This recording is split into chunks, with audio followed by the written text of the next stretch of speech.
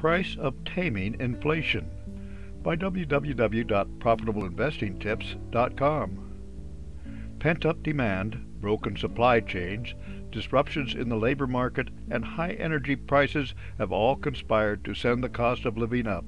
As inflation raises its ugly head, the Fed has declared its intent to speed up quantitative easing and raise interest rates in the coming year.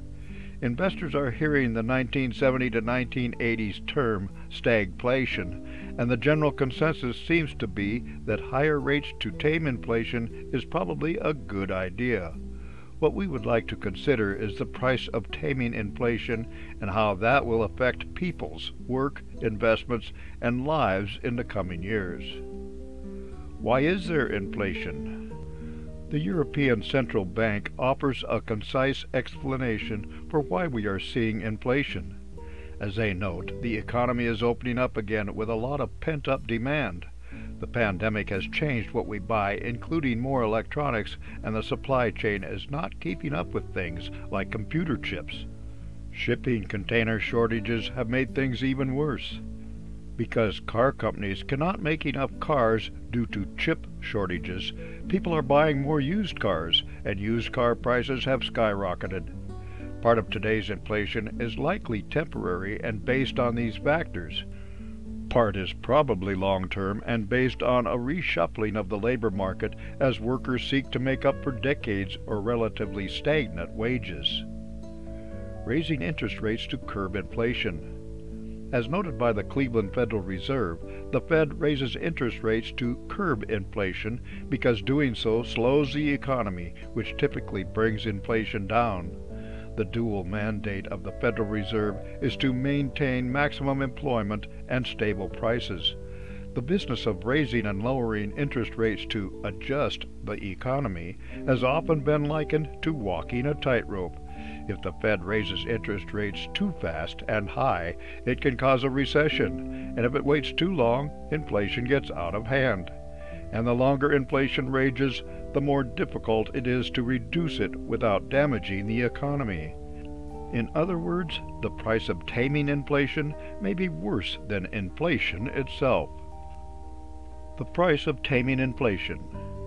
In an opinion piece in the New York Times, the Nobel Prize winning economist Paul Krugman wrote about a potential hard landing for the economy as the Fed raises interest rates to fight inflation.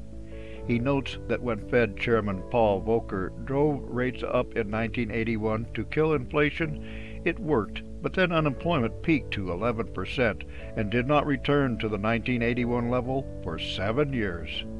The price of taming inflation was seven years of increased unemployment. Those who have been wondering why the Fed seems to have been so hesitant to raise rates may be getting a better understanding of their thinking by considering the unemployment fallout from the inflation busting miracle of the Fed's raising rates in 1981. The price of taming inflation for your investments. Nobody likes the idea of a negative real earnings yield on their investments, as inflation negates gains in the stock market or interest bearing investments. But what happens to your investments if the Fed overshoots on raising rates and drives the economy into a recession? Or even worse, what happens if you lose your job during the recession and need to rely on your now diminished investment portfolio to get by? A real concern is that many of the factors that are causing inflation today do not have to do with the economy coming back and pent up demand. High used car prices are an example. Prices are up because they are not making enough new cars, and they are not making enough new cars because there are not enough chips. And part of the reason there are not enough chips is because the COVID 19 variants keep coming so that we may have a semi permanent situation in which some prices are skewed indefinitely and will not be fixable by raising interest rates and driving the economy into a recession. Likewise, the stock market may remain skewed for some time to come with stay at home, work at home. For more insights and useful information about investments and investing, visit www.profitableinvestingtips.com.